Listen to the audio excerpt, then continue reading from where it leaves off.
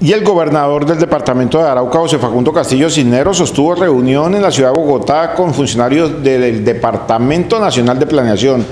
Allí se concretaron algunos proyectos. A continuación le presentamos un microespacio de la gobernación de Arauca. Llevó a cabo una reunión con la doctora Diana Patricia Ríos, secretaria general del Departamento Nacional de Planeación, con la intención de firmar dos convenios, recursos que fueron gestionados el año inmediatamente anterior, que no me resta sino agradecerle al doctor Luis Alberto Rodríguez, como representante de nuestro presidente Iván Duque en el Departamento Nacional de Planeación, por apoyarnos con dos proyectos muy importantes para el Departamento de Arauca. Uno por 4.500 millones de pesos para la reactivación de las víctimas de nuestro departamento de Arauca. El otro convenio es el tema de la canalización de un río en el municipio de Fortul por 4.170 millones de pesos. Hombre, el impacto es bastante grande.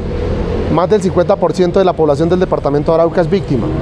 Con esto, con el tema de la pandemia, todas las sociedades araucanas se vieron afectadas y esto lo que busca es reactivar la economía de las víctimas en el departamento de Arauca. Uno de ellos, 4.170.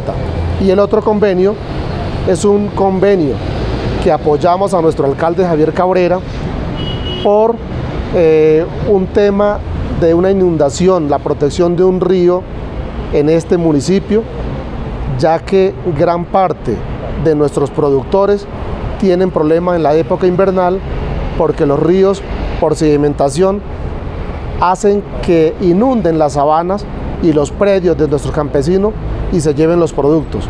Así vamos a seguir organizando proyectos para seguir eh, mitigando esta problemática que bastante agobia nuestro departamento de Arauca. Fue una reunión bastante importante, ayer todos tuvimos una reunión muy importante en el Ministerio de Salud luchando para, uno, buscarle fuente de financiación a la terminación de la torre del Hospital San Vicente. Dos, hoy, gracias a la reunión de ayer, se hizo una mesa de trabajo para buscar la viabilidad de la unidad de cuidados intensivos del municipio de Saravena. Y tres, buscar la viabilidad y agilizar el proceso para la terminación del Hospital San José de Cravo Norte. Son proyectos importantes en materia de infraestructura hospitalaria que vamos a tratar de ir mitigando cada día la problemática de salud en nuestro departamento de Arauca. Gobierno departamental, construyendo futuro.